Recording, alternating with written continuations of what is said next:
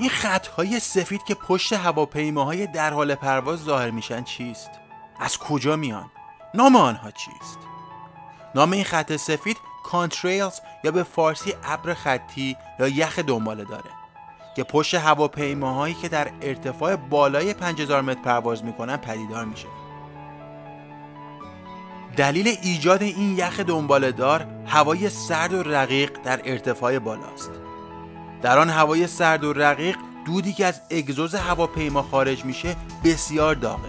که وقتی این خروجی داغ با هوای سرد و رقیق در ارتفاع برخورد می‌کنه بخار آب موجود در دود اگزوز به یخ تبدیل میشه. دقیقا مانند تنفس در یک روز سرد. ولی همه این ابرهای خطی به یک شکل نیستند. بعضی ها کیلومترها در آسمان کشیده شدن و بعضی ها هم خیلی زود و بعد از ایجاد شدن ناپدید میشن. خوبه بدونید با توجه به اختلاف این ابرهای خطی در پشت هواپیماها می‌توان وضعیت هوا رو پیش بینی کرد. مثلا در هوای مرتوب این خطوط بسیار طولانی به جا میمانند که این نشان دهنده اینه که روزهای بارانی در پیش هستند. ولی ابر خطی کوتاه که زود ناپدید میشه از هوای خشک و بدون باران خبر میده.